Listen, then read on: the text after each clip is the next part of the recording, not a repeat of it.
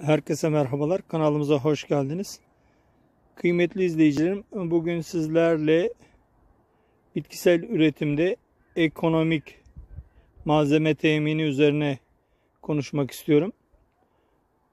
Ee, Bugün fasulye örneğinden yola çıkacağız.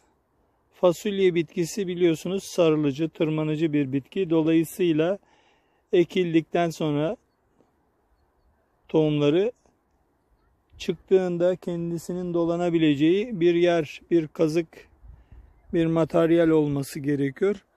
Biz burada kuru, daha önceden kesilmiş söğüt dallarından istifade ettik. Sizler de buna benzer farklı şeylerden istifade edebilirsiniz. Kamışlar da olabilir, kargılar da olabilir. Biz burada kuru söğüt dallarından istifade ettik. Şimdi bizim haricimizde başka komşularımız da bahçelerinde fasulyeler ektiler. Biz biraz geç kaldık tabi. Şimdi onları da sizlerle paylaşacağım. Onlar neler kullanmış. Siz bunları kullanırken mümkün olduğu kadar ekonomik malzemeler temin etmeniz gerekiyor. Burada başka bir arkadaşımızın komşumuzun ekmiş olduğu fasulyeleri iplere tırmandırmış. Gördüğünüz gibi bu şekilde kazıklar dikip kazıkları da yukarıda ağ şeklinde örmüş ve fasulyeleri bu şekilde ipe dolamış. Çiçekte fasulyeleri yakın evet küçük küçük burada meyveleri gözükmeye başlamış. Önümüzdeki günlerde bir hafta 10 güne kadar hasat eder. Burada bir başka komşumuzun fasulyeleri var. Onlar da tabii ki gördüğünüz gibi biraz da ticari bir malzeme kullanmışlar. Ne kullanmışlar? Dilmeleri kullanmışlar. Kaça kaç. Hemen şurada. Evet burada 1.80'e 4 dilmeler kullanılmış. Bu şekilde bir uygulama var. Burada tabi ektiğiniz fasulyeler elde edecek olduğunuz ürünler masrafınızı karşılayacak mı? Bunu iyi hesap etmeniz gerekiyor. Yine farklı bir fasulye çeşidi. Burada da tamamen direk şeklinde. Burada da kargı kamış şeklinde direk olarak dikilmiş fasulyeler hemen yan tarafında farklı bir çeşit var. İki farklı çeşit fasulye dikilmiş.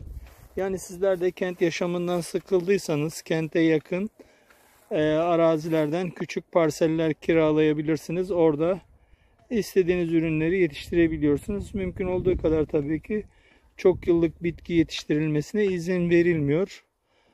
E, işte brokoli, lahana var ama onlar da birinci yıl yetişiyor, ikinci yıl hasat ediliyor. Ağaç türlerine pek izin verilmiyor çünkü yan taraftaki bahçeye ne yapar? E, gölge yapar diye. Hemen bakın yan taraftaki birisi biz kabak geç kaldık diyorduk ama bir başkası daha yine kabak ekmiş, havuç ekmiş. Bakın burada e, Hasan abimizin bahçesi var.